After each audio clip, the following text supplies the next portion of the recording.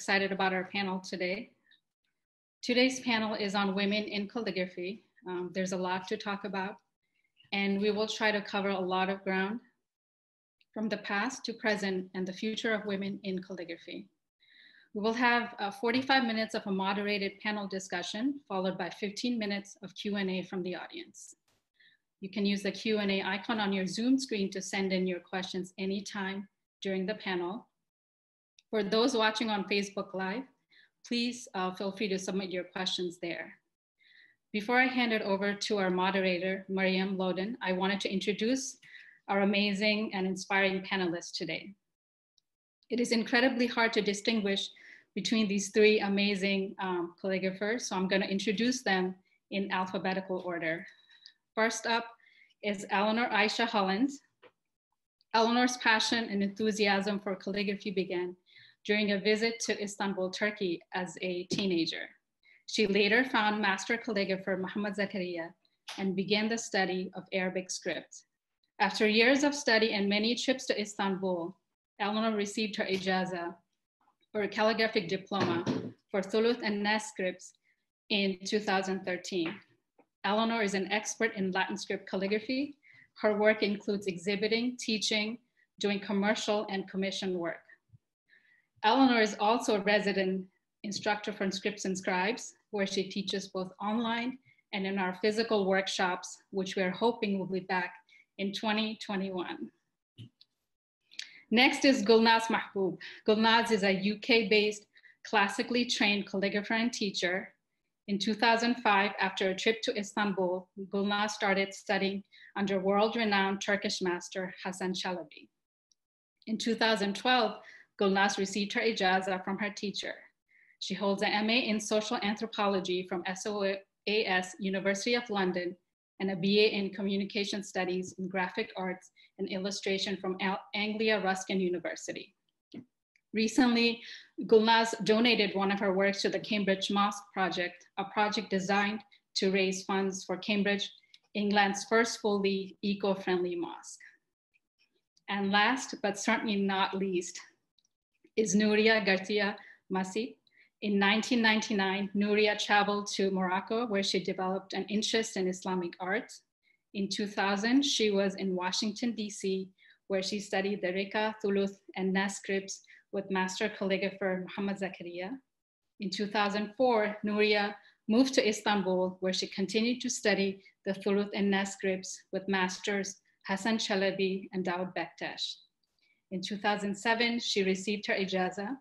She holds a master's in art history from Sorbonne University and has won prestigious prizes in international calligraphy competitions. Thank you so much to all three of you for joining us today.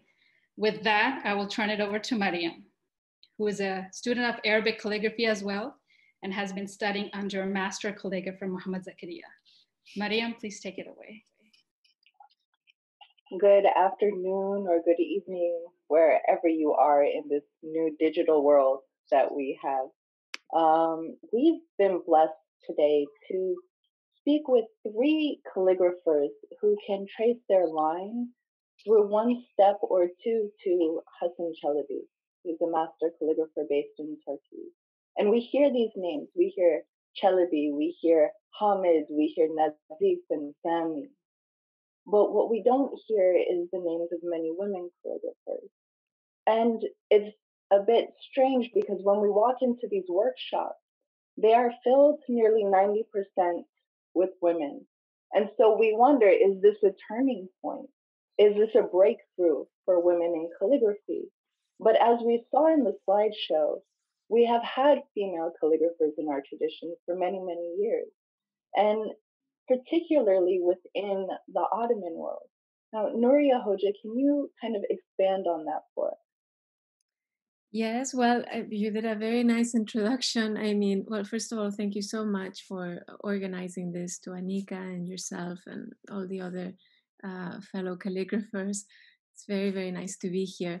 And regarding the history, yes, there, there were always women calligraphers, but I think like other fields, they were just not uh, recorded in the way that the male counterparts were recorded. But we do have sources, and I think it's a question of just the art historians need to do their work and start, you know, documenting more and, and making them uh, more widely available. But we do know that there were, for instance, one of the oldest examples which we saw in the slideshow was this beautiful Quran in uh, Kufic script, which was written already in the 10th century by a woman who was actually a freed slave. And in the Middle Ages in, in Muslim Spain, we know of hundreds of freed slaves or servants who would who were the scribes or the copyists for their masters. Um, later in Baghdad, actually, uh, remarkably, because no, nobody ever talks about this, but um, Annemarie Schimmel does in her book, but I mean that's more or less it. Um, you know, uh, even um, the daughter of Ibn Muqla, Ibn Muqla, who was the great Baghdadi uh, end of 10th century calligrapher responsible for creating the well proportioned script and who was so well known. So it was his daughter who actually taught um, Ibn al Bawab. And we also know that in the line of transmission between Ibn al Bawab and Yakut al Mustasimi, there's also a woman in the silsila and she was a great scholar, and her name was Zainab Shuhda al Katiba, and she died in 1178. so you see that there are actually remarkable women. There were also remarkable women who were jurists and poets and you know great scholars who were teaching hadith to men. Um, this was happening in many different parts of the Islamic world. And again, we need to remember the Islamic world. We're talking about 13 centuries of history. So for calligraphy, also 13 centuries of calligraphy history, many, many different regions. So obviously, every region is going to be different. Um, but, you know, finally, it is true that in the later periods, from the Middle Ages on, for the classical scripts, the great calligraphers were usually either daughters of calligraphers, wives of calligraphers, daughters of the Shah or the sultans, or you know, from the sort of aristocratic um, um, upbringing. And then we also have many women from these backgrounds who were great patronesses of the arts and who would sponsor, um, you know, calligraphers, um, calligraphy on buildings, and so on. So it, there's a very rich history, and I I don't think that now the situation is that different from what it was then. Um, but you know, of course, we live in the modern world, and circumstances are different in the sense that we are working as you know, it's it's also a way to earn a living and so on. Mm. Um, but I mean, it's something that has been going on for since the beginning. We can say. Oh, that's wonderful. Um, and we were we were talking just now about um, the idea of a teacher student relationship. And we were talking about, I think the term, if I'm not mistaken, is uh, Haki Talib Haki Hoja, right? The rights of the student and the rights of the Hoja. Mm. so there is a structure to it, correct? Uh, Aishah Hoja, do you mind it, telling us a bit about the, the structure of the Hoja student relationship? Well, no one ever told me specifically, you know, no one's ever written down the rules. I didn't read them in any book. But um, my direct experience with Zakaria Hoja is what I can tell. And I mean, it's something that arises naturally. It's not like you learn how to do this. It's when you find a teacher you want to study with, you ask permission to become their student. Mm-hmm. And I mean, I was put off by Zach Hoja several times. I called him up. I had been trying to study on my own, and really, I don't do well on my own. And so I was getting nowhere. I was sort of stuck. And I heard about him. I called directory assistance here in the United States and got his phone number, just called him, called him cold and he said no. He wouldn't take me as a student. But anyway, I, I convinced him. I, I said, I'll get in my car right now. I mean, he lives a five hour drive away, but he eventually relented. And I have seen him over the years. Sometimes he takes students, sometimes he doesn't. Hmm. He says his intuition is always right. But Mm. anyway, so there's a natural kind of respect for the teacher that arises, you know, right from the start. And, you know, basically you're following your teacher. I mean, that's I so, you know, you get permission to become a student, sort of like an intention. And then really you're copying your teacher. Um, the thing that I think is also important about, you know, it, as much as we respect our teachers, our teachers respect us as Mm. students. Like it's a mutual respect. Um, and over the years, I've just found that, like, if I ask him a question, he's usually right in his answer. I mean, we've, you know, as you develop as a student, sometimes you develop your own opinions and your own tastes, and they may differ with your teacher, but like 99.9% of the time, he is right. And it's always worth speaking to him. It's always worth speaking to him. Um, I mean, in in our line, in my experience, you know, the the teachers, the hojas, they earn their respect, and it's not just like on a technical and a calligraphic level. Like there's a kind of integrity in the relationship that is just natural and like i said it's it's a mutual respect. Mm. It's really it's a wonderful relationship. I mean you know zach hoja is an american i'm an american. There may be more you know codes of conduct that i'm just completely unaware of but there's just an incredible amount of respect. I mean i once we did an event for him um, and my son-in-law who'd never met him who doesn't know anything about islamic calligraphy came to the event and later his comment was there's so much respect Yeah. and it's it's just it's a very nice thing it's a very nice Mhm. Yeah, you, you do see that between between the student and the teacher, and in most, I think, in most fields, but, but I've seen it particularly within the calligraphic field. I think that I've noticed my fellow, my uh, the fellow students that are with me. Um, there's a love and and and honor of the knowledge that this person really holds. Right? Yeah. Can I add one more thing? Yeah. Um, I'm just, you know, we don't. Another bit of code of conduct is that these hojas, when you're teaching one on one, when you're teaching privately, or even if it's a group, but like in your home, there's no charge. Yeah.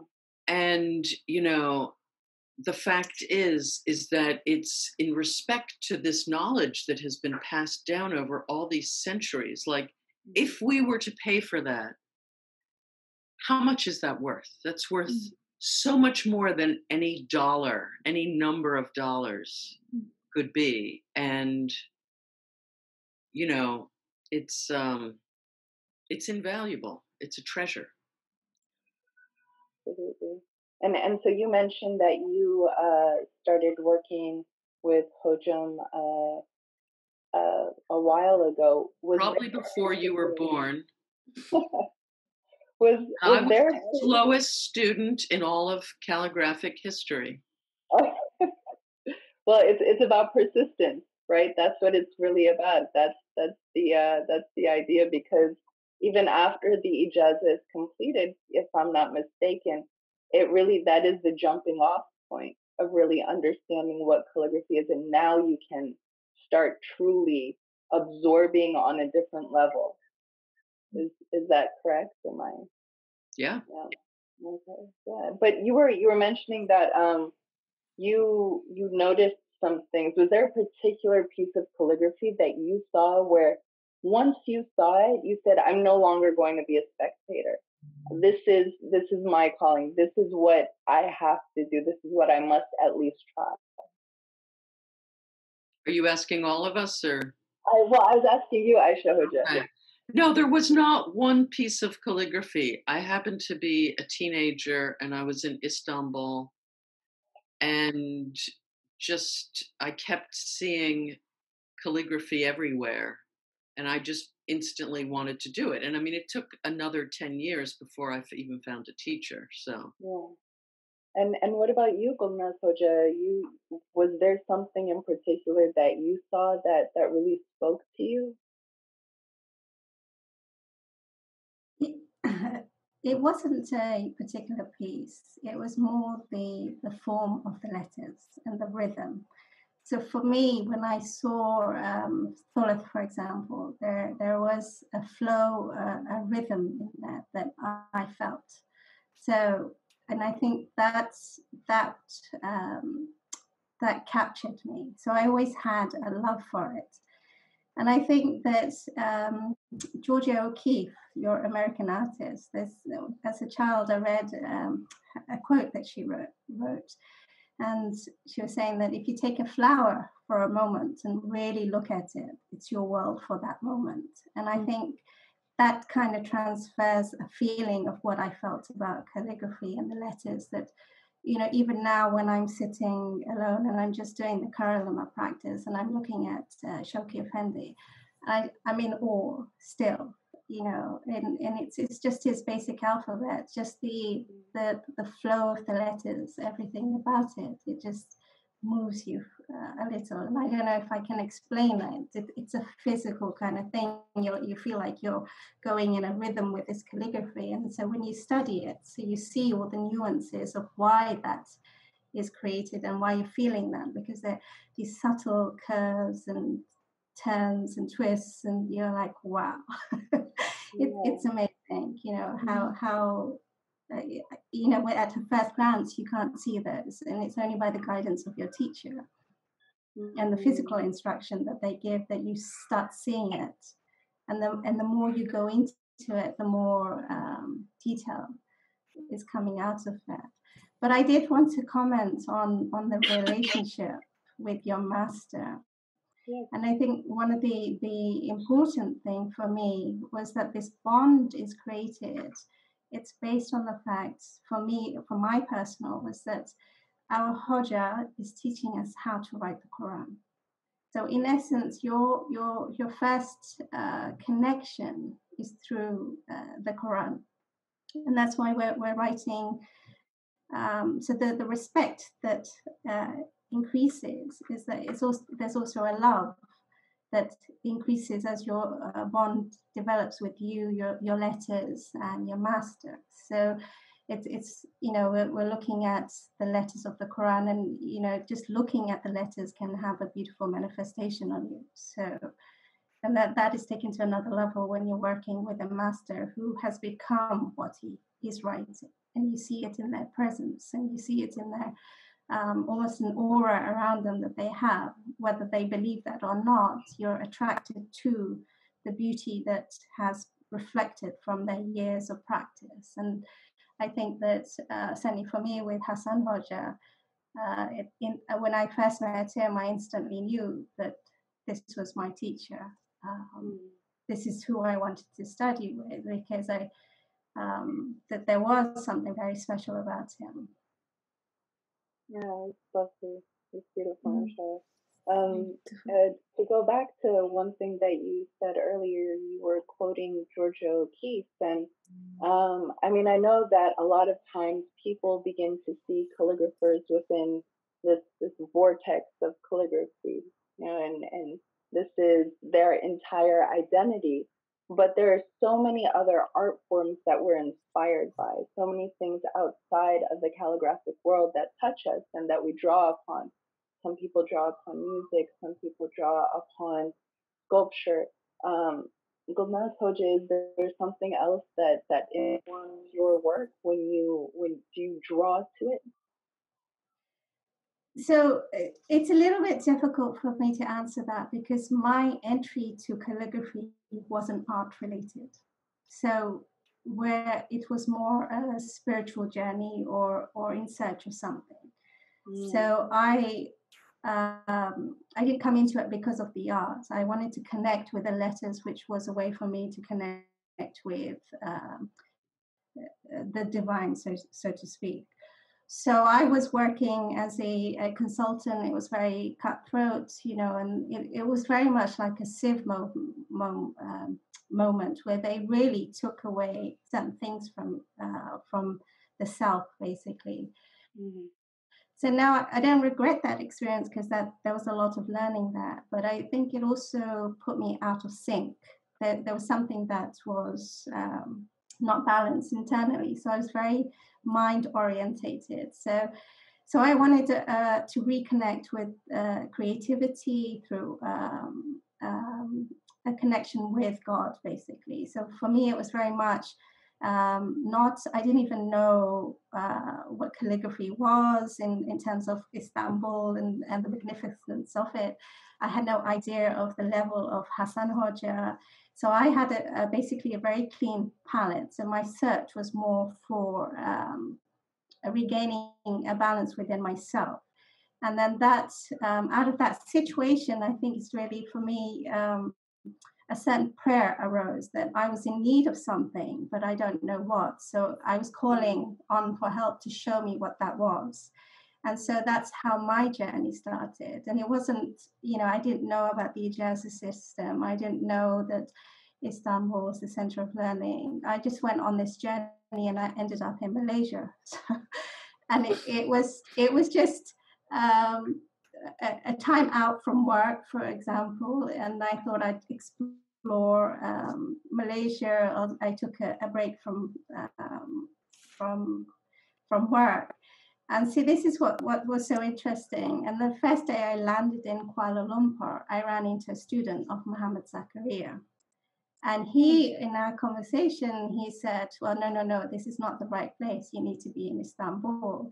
So, whilst I was waiting for my course in, in uh, Shah Alam to start, I started looking up who Muhammad Zakaria was. And I had not heard of Muhammad Zakaria. And so there was a article he wrote about his experience of going uh, invited being invited to istanbul. And then uh, he was sat with all these greats. We know who they are now in at IRCICA, and he was told to retrain in the ottoman uh, style. So you you're all familiar with his journey and his story. So I think the penny dropped then that if somebody like Zak Hoja is being told to retrain in the Ottoman uh, style, and I thought that I'm definitely in the wrong uh, place. So I thought, so then it rerouted me back to Istanbul and then uh, to Hasan Hoja. So, wow. so for me, and maybe I'm repeating myself. So it's it's a very much a personal journey, and I didn't. Uh, I had no expectations of where it would go or, or where I would end up or whether I'd be teaching. So it's all part of the process that followed on from one step to the next. And then when you meet somebody like Hassan Hoja and all the great masters, and I have to really pay homage to them because if it wasn't for them, we wouldn't be really here. And all of them are men who dedicated their time to, to us with lots of compassion and, and mercy, and were very generous with the knowledge, you know, that I received from Hassan Hoja and his time. So, so um, yeah, so when you study with somebody like that, it it kind of you you get hooked because you see the beauty and he made it look so easy and the flow of the ink the the way the color moved and you just you know you're, you're just mesmerized by it. And uh, you know they're all also great in istanbul and, and you know we can't um, begin to explain how great that experience was for us in istanbul. Yeah that's that's quite beautiful. And um, Nuria Hoja, did you also have that same experience? That that I mean, it's nobody has the same journey, but how did you find yourself coming into this world? Um, all right. Well, it's a bit of also like Gulnaz's, a kind of like a you know long-winded way, but um, I I did have an attraction for Islamic art, and I I did want to to to find um, a path in Islamic art because um, Dr. Nasr Seyyed Hossein Nasr had told me that this was possible, and so the the way for me at that time is was going to Morocco, and that's where I spent uh, a year exploring different arts and crafts, and and I met a self-taught calligrapher who who was extremely generous and and and a wonderful man, but he had no method. He was self-taught and so on. And so, however, that first contact, I I'm, I will always be grateful to him because he opened my first kalam and ink photocopy paper. I mean, everything was very basic, you know, ink on a plate without lika or anything. But it did give me a feel for how simple this art was simple in the in the sense of materials you know just kalam ink paper and solitude. And that really drew me because the other crafts i was doing at the time we you know you, you needed like a whole group of people you know for the tiles to you know the oven the this that. It was very complex.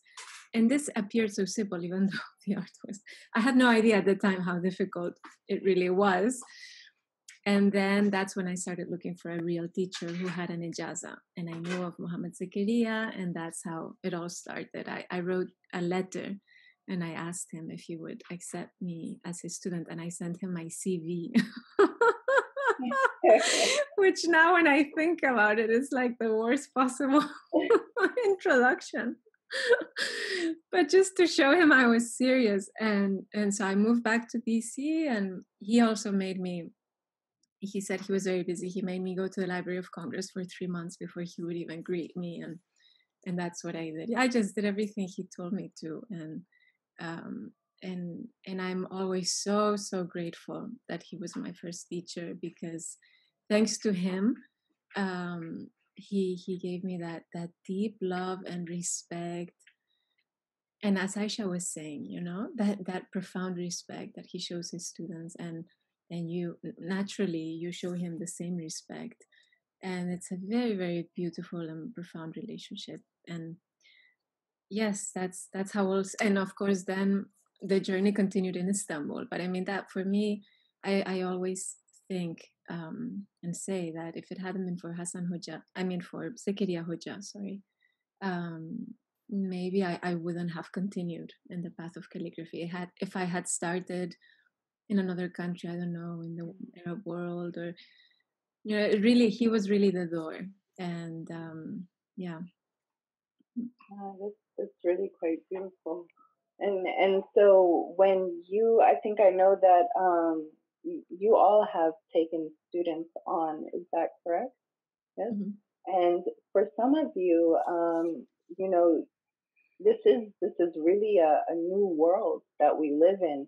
Uh, but the mesh process, the corrected lesson, it's quite an active process. It's not something that can be, you know, um, digitally scanned and, you know, you have to see the, the posture of the teacher as he writes. You have to see what the consistency of the ink is. You have to see how he cuts the, the pen, you know, how he puts the pen to paper and moves it in the most nuanced ways to create this beautiful flow. But now we live in a digital world. We have conferences over Zoom. There are benefits to it. I don't think we could have done something like this or would have even thought to do something like this before. But there are lots of things that we've had to readjust as as students. And how have you as teachers um, yeah, Aishah Hoja, maybe you can uh, take this on and let us know how has this transition been for you into a more digital teaching age? Well, it's kind of necessity. I mean, I really only have a few private students, and one of them is Anika, who's an excellent student and who started Scripts and Scribes. So we owe it all to her. But um, mm. I would say that, you know, actually another part of the code is you have to have direct contact with your teacher mm. you can't you know i live mm. in new york state Mohammed Zakaria lives in Northern Virginia. But I went and I met him first, and then we continued through the mail, and I would go see him as often as I could. Mm. Um, so I have always resisted. People have said make videos, teach online. I mean, first of all, I am a Luddite and I am lazy and I'm old. So um, combination is that you know I I managed to find a space in New York and I actually get some paying students, but um, when the pandemic hit, and I mean, this is New York, we were shut down really fast, really, Mhm. I mean, should have been faster, but uh, so you know, after about a month of shock, I think we're all. I am still a little bit in Yeah. shock. Um, I realized, you know, first of all, people need something to do. I mean, I had family members who usually aren't really all that interested in what I do, but they're like, you know, people are home, people want to do classes, people need to do classes. And of course, Anika convinced me. But I mean, I also teach Latin script for the New York Public Library. Like now they want videos. So I've actually made a couple videos, which are not very easy to make. I say that. And I'm doing Zoom classes. And it's just because people need connection. This is a safe and healthy connection.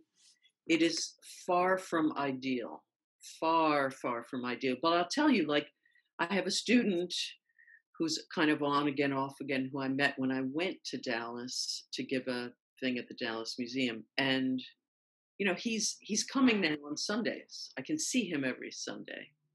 But it's never going to be the same as human contact.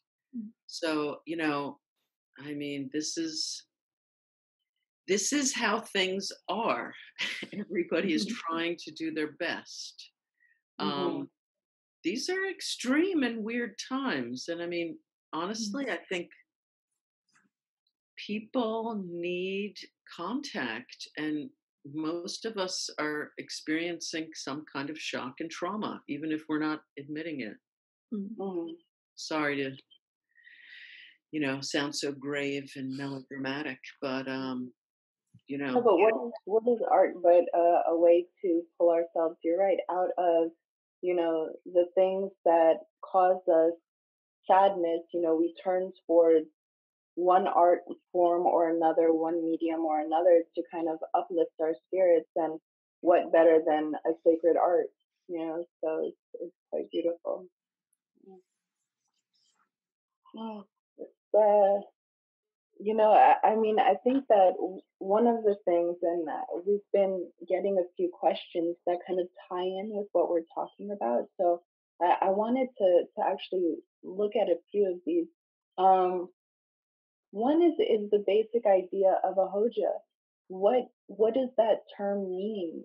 When does one receive that term, and how uh, are women identified as hojam? Is it is it another term or is it the same term? Uh, Gulnaz can you please uh, take that one? So they so in in in the calligraphy sense once you have got your ijaza that's after many years of hard work. Naturally people after that uh, that's the first step of of stepping into the real life of calligraphy. Before that um, it's very much a process of unfolding so what the ijaza tends to do is it allows you to sign your work and it gives you authorization to teach and also issue ijazat. And in the Turkish sense, the, the word hoja, though sometimes it's used on the streets as well, um, but it's, it's someone of religious knowledge. So Hassan Hoja is definitely somebody of that status. He is uh, an imam. He was a hafiz of the Quran, so he's memorized the Quran. You know, he was an imam. So he qualifies somebody of that status.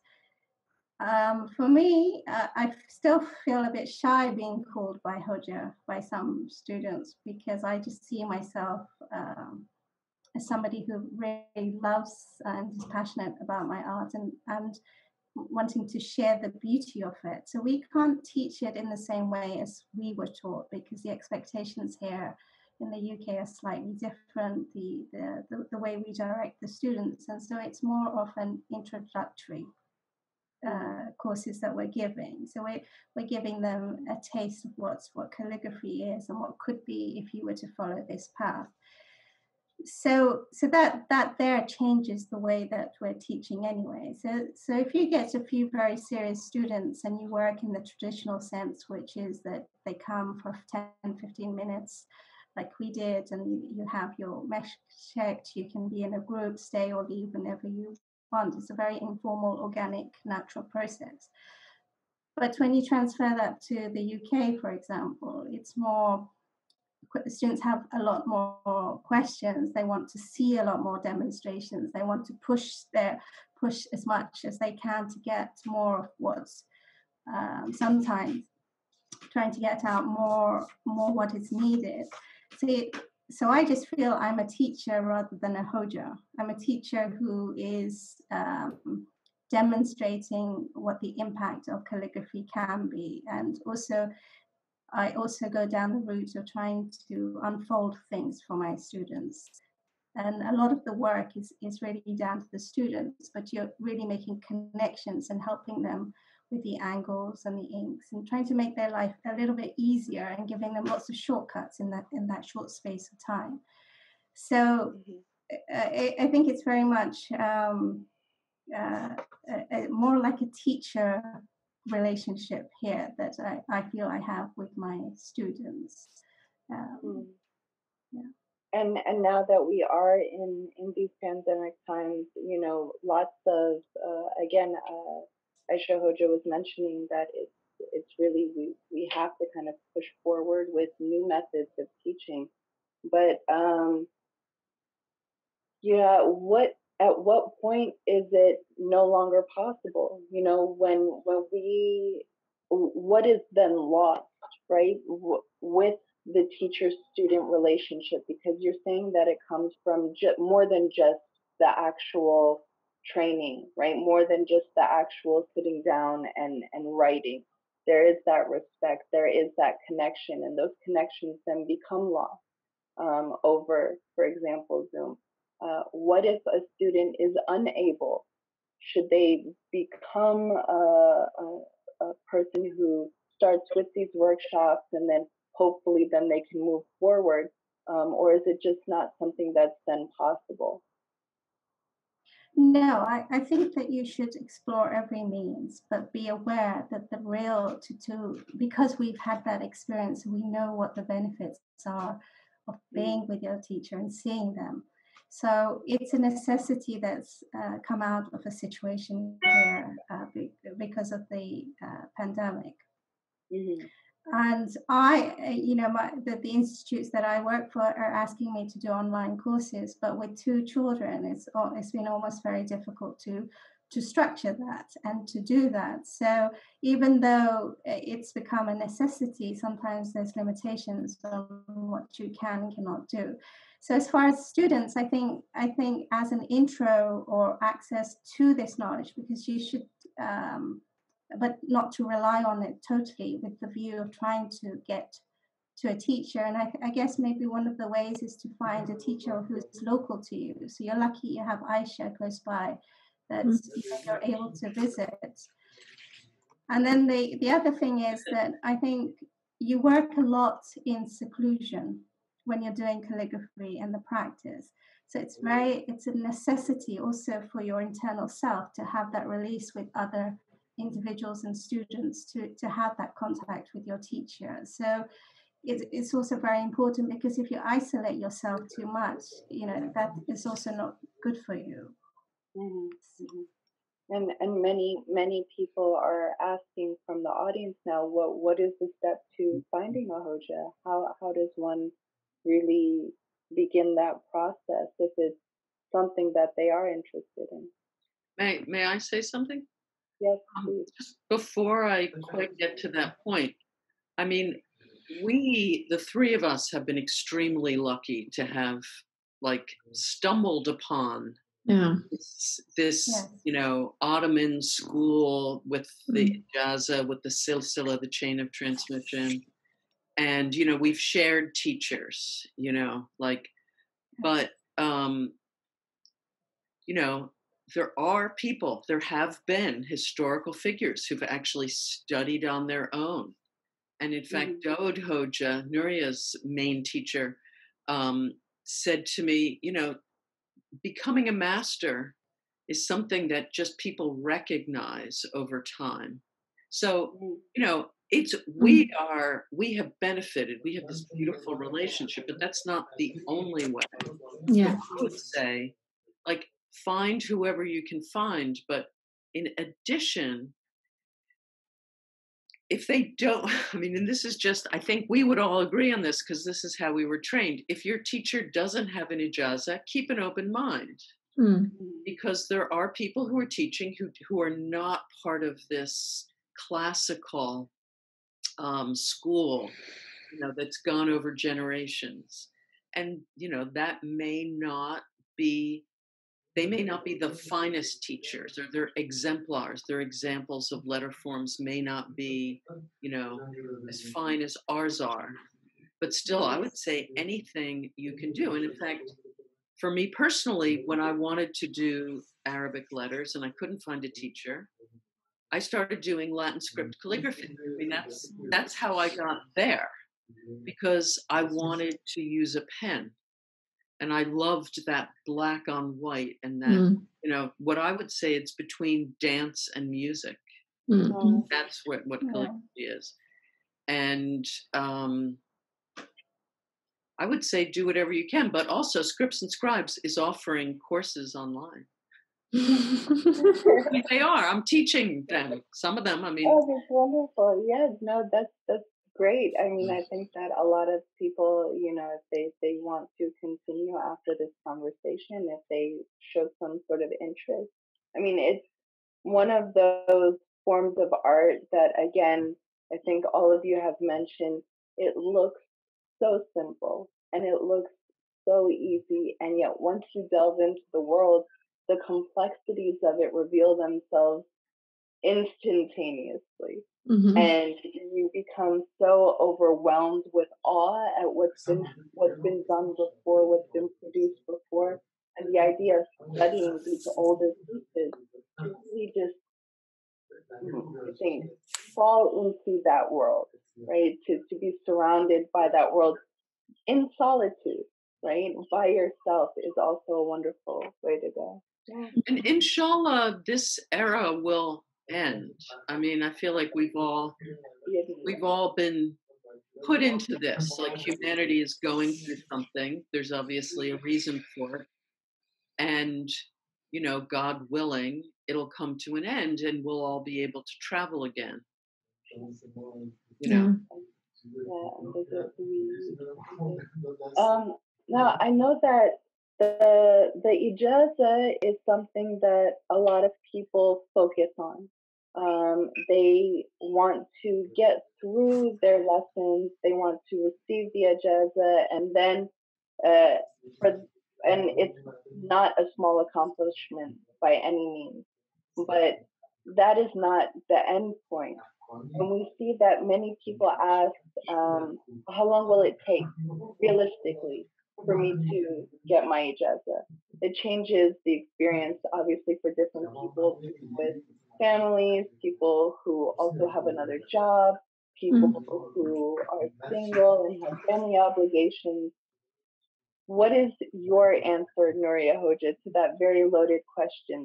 How long does it take you to get your ijaza? Yes. Well, as as Aishah was explaining and Gulnaz, you know, we we follow this very precise curriculum in the Ottoman school, the way we teach. So the the way it works is that every student passes the lesson when they're ready, when they've understood a lesson, and they pass to the next one. So there's not a standard amount of time saying you need to spend, I don't know, a month on each lesson. No, some students may spend two weeks, some students may spend eight months you know so it, it changes completely yes aishah No, I mean I've I've spent a year on a on a lesson. yeah yeah i also i spent a year on my first rabbi yeser and with Zakaria so so and then we see people who receive their ijaza i would say maybe record timing would be four years. I've i've seen um, students in turkey but that's really like remarkable. I got it after seven years and then there's students who get it after I, I saw a man getting his ijaza when he was 80 and he, I think he had been studying with Hassan Hoja for I don't know how many years, you know. And that's actually the beauty of it. That is, um, every person is different, and every person's, you know, they they advance at their own rhythm. and so it's a completely uh, individualized method we can we can say and um, that's why i always say to my students to be honest forget about the ijaza that really the most important thing and actually zakaria hoja said this to me he said enjoy these moments of being a student Yes. and I didn't realize what he Yeah. meant. I was like, what does he mean? This is terrible, struggling with a mesh, repeating the same thing a thousand times, getting all this reading. What is he? You know, I didn't, it didn't. And then I was like, he's so right. Because those moments that you, the only thing you have to do is focus on analyzing the work and practicing and having those very nice moments of solitude, as Gulnaz was saying. Um, that is, you, you, that's what you have, that's what makes you fall in love with calligraphy. And then if you if you fall in love and you have that love everything else will come after that.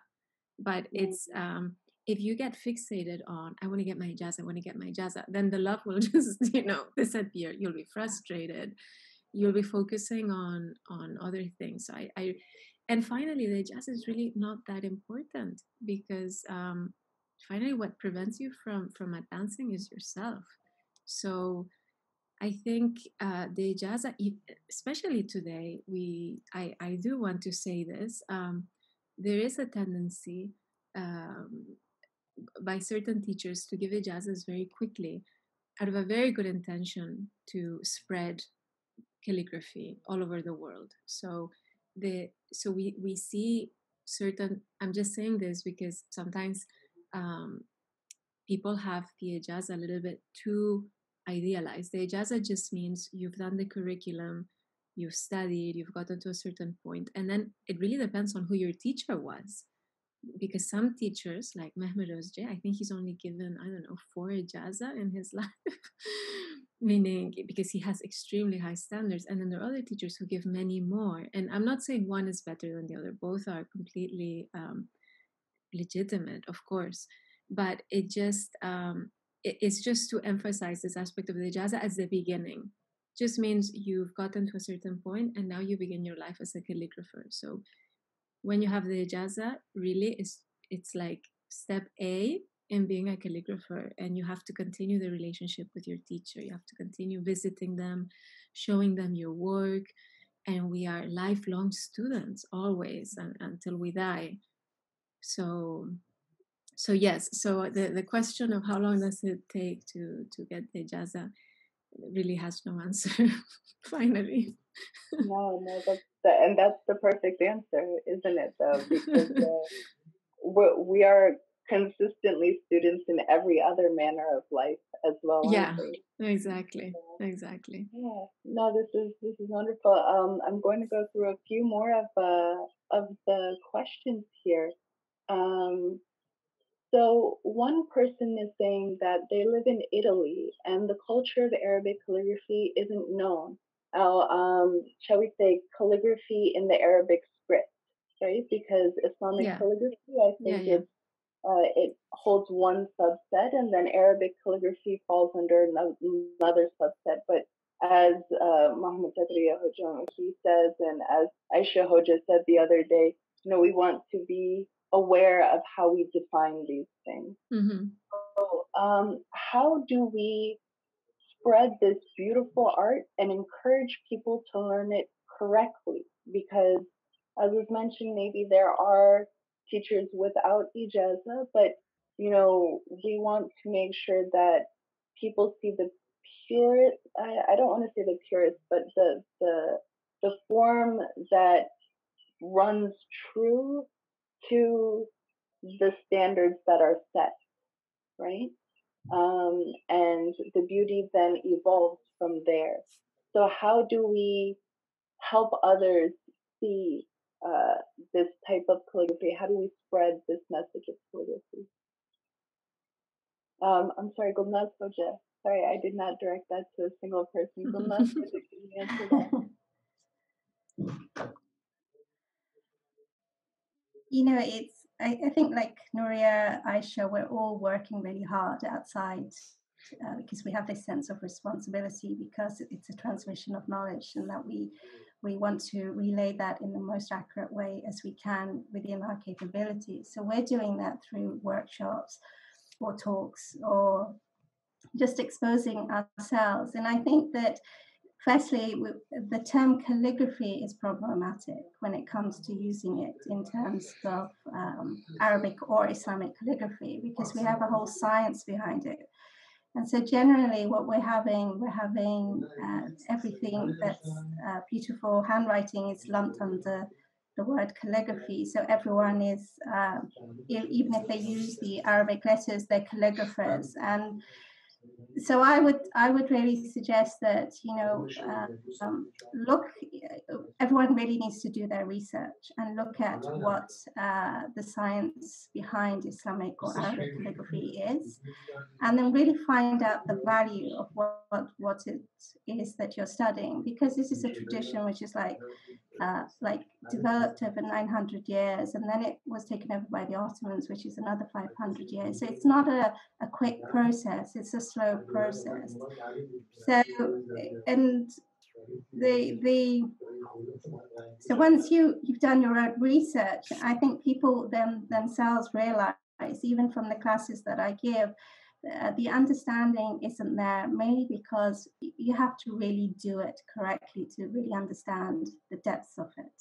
And so, over the eight weeks, when students come to the classes, their, their perception of it has changed. And I think that's the best we can do at the moment is to do the best we can with the teachings that we're doing and try to spread it. Um, you know, I do get asked this question: What do you think of so and so and so and so? Um, know, it's it's somebody else's style, it's their method. But for us as classically trained, we've been exposed to the details of it and the beauty of it. So we, we can see that sometimes the letters are broken or that they've totally um, distorted some letters and it, it just throws off the beauty and the balance and the harmony that's contained within a single letter. So uh, yeah, I don't know if Nuri and Aishah want to add to it, but I think uh, for me, it's mainly trying to uh, focus on the teaching and, and to just take as many opportunities as we can to spread the beauty of uh, calligraphy. And there's so much out there now. So when I started, there was nobody really in England. Mm. So that's why we went to Istanbul. Yeah. But you, we have students all over the world now hosting calligraphy in their home countries. So it's not as difficult as it was before. Yeah. And I think people are also becoming more aware of the Ottoman school and all the calligraphers, and mm. everybody knows Nuria. so, so everyone knows Nuria. So, you know, this is your, things like this are the, are the uh, starting point of spreading it. MashaAllah. That point, Aishah, Hoja, I mean, are there any, do you know of any books? This is another question that are in English, any resources for English speaking students to help understand the characteristics of different strokes of the different, uh, the different scripts? Um, things besides the, the, the Şevki book, uh, the, uh, the Şevki book is like our Bible. I mean, you know, the Şevki book, I only have one copy that left and it's water damaged and it's on my desk and I look at it almost every day. Um, I the best source I have had for books has always been in Istanbul. Sometimes they're mm-hmm. translated into English. What I want to say is sometimes we lose the forest for the trees. You know, sometimes mm. you find yourself backed into a corner, struggling with, you know, the, the little bit, the two millimeters of the final curve of the noon. And, you know, like you need to take a step back and you need to realize that the point of calligraphy is to make people read the message and for it to be beautiful. And mm. sometimes calligraphers were so finely trained you know we look at something and if we don't like the style um you know we just like i don't think i mean there's i would definitely encourage everybody yes find a teacher within jaza yes most of the stuff that's in and around and emanating from istanbul is going to be good.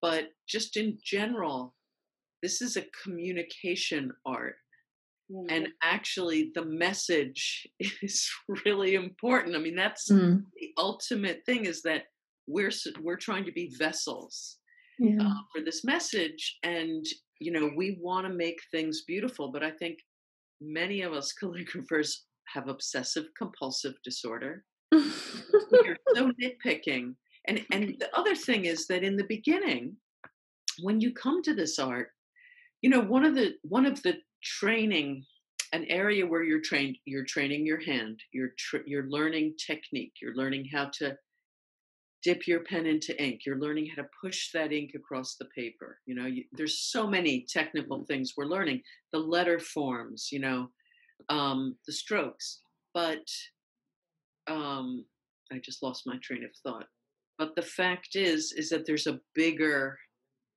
picture here and oh i know what i was going to say it's the letter forms i mean so we're learning the technique with our hand but we're also learning the forms and we need to internalize those forms those shapes and it can take a while i mean it can take seven years it can take more than 20 years it can take a lifetime to really get them as good as we want them. But when you're a beginner, you don't see that much. I mean, mm-hmm. part of the training is learning to see those little details.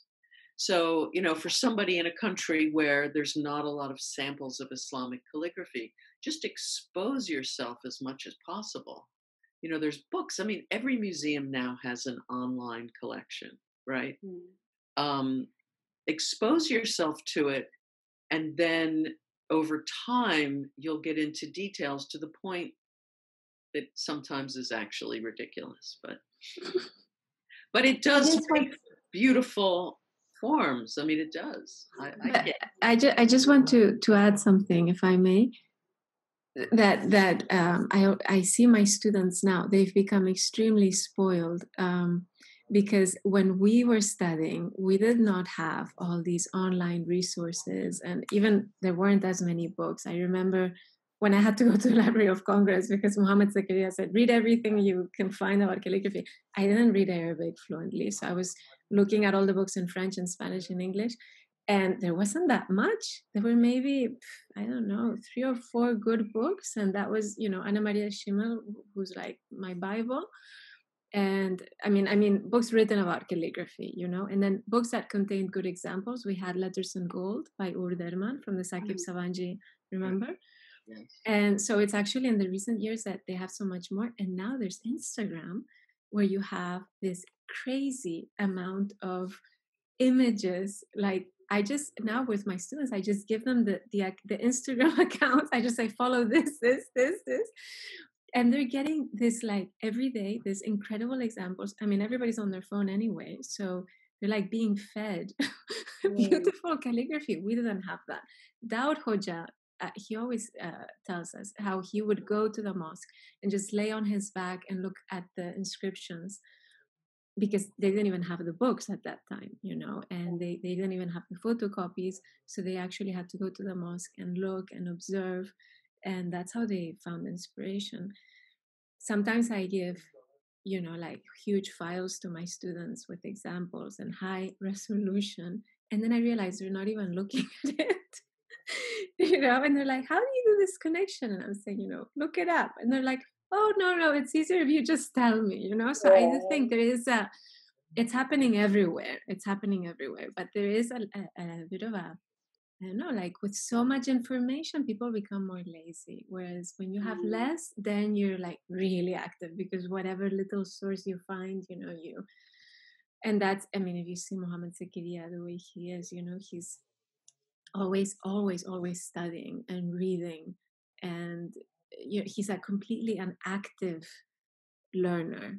And I think that's actually one of the things that is really important in calligraphy that it all everything actually has to come from the student uh, yeah well um Hojas, uh, thank you so much for being with us i could talk to you for another three hours at least but our time is up um so i i give the floor to anika